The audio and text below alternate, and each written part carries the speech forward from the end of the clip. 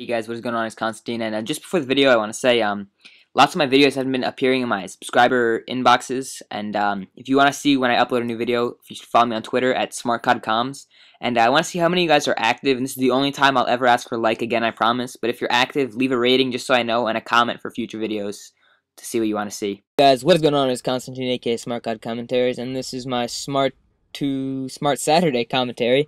Um, as you can see, got some COD 4 in the background. Uh, 1v1 against me and Headshot.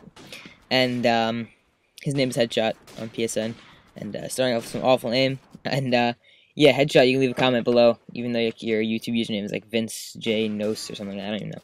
But um, yeah. So um, recently, I don't know if you guys have known, but there's been like a, a solar flare on the on the sun, and lots of people are like, "Oh my God, it's a solar flare. We're all gonna die."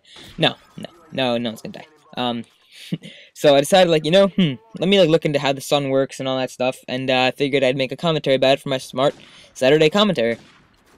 And um, so pretty much the sun, as you as the uh, the more bright of you have noticed, uh, is light, and uh, it provides the light that we can see by, and it, it, it created life on Earth and everything, and uh, it can also make you blind if you look at it, and um, the Earth can fit into uh, into the sun uh, over a million times, uh, over a million Earth things, Earth-shaped, Earth-size.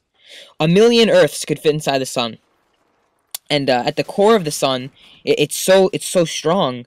Uh, it's just like the gravity uh, that pulls everything inwards in the strong because it's such a large mass. The gravity that pulls it all in creates such a high um, such a high pressure and such intense gravity that the pressure is high enough to uh, to force atoms of, of hydrogen to come together in like nuclear in uh, I think it's fusion yeah in nuclear nuclear nuclear fusion and uh, that's that's what actually we tried to to mimic I guess um, in the uh, nuclear reactors we have here to produce energy because huge amounts of energy are produced and um, so that's pretty much how that works. And pretty much, if you think about it, the sun is just a regular, just a regular star, uh, according to the the rest of the universe. And but uh, the thing that makes it like um, unique and makes it different for us is because it's so close to us. Uh, I believe it's like eight light years away. I know, light, eight light minutes away. So this the light you're seeing coming from the sun was emitted from the sun eight minutes ago, uh, eight light minutes ago. And uh, yeah usually like the other stars take like millions of light years to, to expand here but um uh onward I, I want to talk about the sunspots i mean not sunspots damn it the um the solar flares and all that stuff and pretty much uh the sunspots uh become the solar flares when they explode uh pretty much sun sunspots are the, the like the cooler areas of the sun if you've ever seen a picture of the sun it's kind of like it's there's like some like darker looking spots and those are the solar flares uh solar God damn, those are the sunspots. I'm getting it mixed up. I'm sorry, guys. Uh, the darker parts of the sun, when you look at a picture of it, those like those dark, they look kind of like blackish.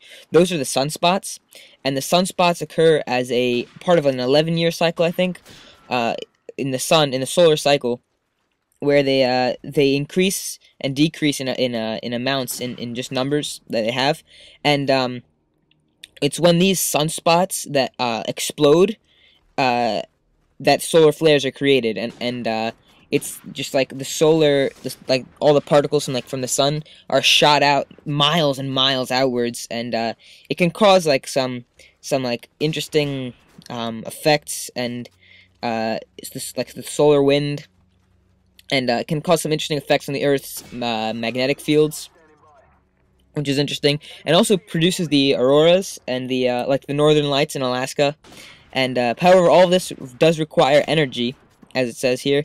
Uh, I'm reading. I read a little article from online. I'll, I'll, probably probably post a link in the description if you guys want to read more about it yourselves. But um, all this requires energy, uh, which is in a limited supply. So eventually, the sun will run out of fuel. I'm assuming it's gonna just burn out. But uh, the the sun has an estimated enough uh, has enough hydrogen, which it, which is which it fuses together to uh, to create its energy, uh, has enough has enough hydrogen to burn for 10 billion years. Uh, but it, it has already burned for 4.5 billion years, so it has about 5 billion years left. And after those 5 billion years are up, the sun will expand, expand into a red giant, which will encompass the Earth. and then uh, it'll cool into a white dwarf, then turn into a black dwarf, and then it will go away. But that takes billions of years. So we here on Earth are going to be safe. Uh, no worries at all. And uh, watch this game winning kill here, just with the time running out. Yeah, so the Earth will expand into a red giant uh, that will encompass the Earth, and we will all die when that happens, and then it will cool into a black dwarf over the course of a billion years. So I'll talk to you guys later. Peace.